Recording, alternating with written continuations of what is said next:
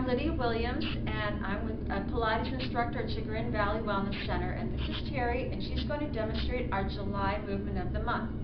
We're going to do some upper body work on a bolster on the Cadillac table and using the bar.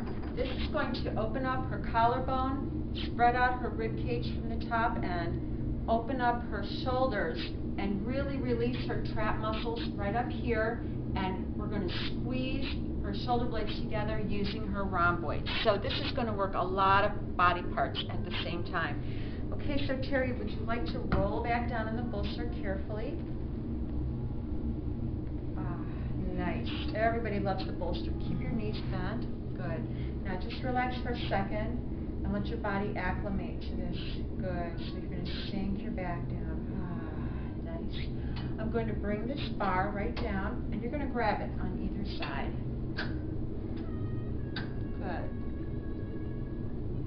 Now, as you bring that bar down close to your chest, you're going to bring it down. Your elbows are going to open out to the side.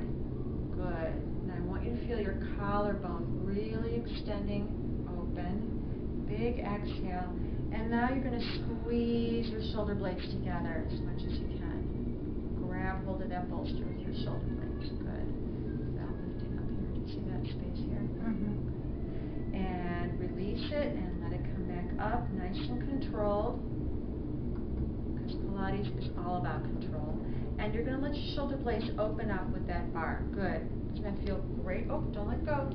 Yeah just let them stretch open. Okay, good. Because you're going to use your lats right now to bring it all down. So bring your shoulder blades down and together. Nice. I hope you can see that. And she's going to stretch open squeezing her shoulder blades together in the back when she gets that bar nice and close. Big exhale as far as you can. Good. So you're using a lot of things. You're using your pectorals, you're using your triceps, you're using your ribs, you're using your scapula, which is your shoulder blades, you're using your rhomboids. Good. And let that open. This is great for people who have, are feeling really constricted right up through their upper body.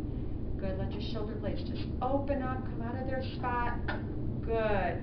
And once again, you're going to exhale and bring your shoulder blades down with your lats. Good job. Way down here, Terry, with this one. Good. Nice job.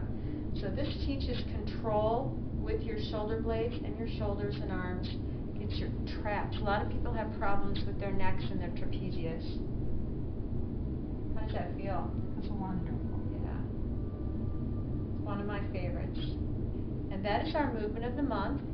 And this is July, and this is from Chagrin Valley Wellness Center. Hope to see you back again.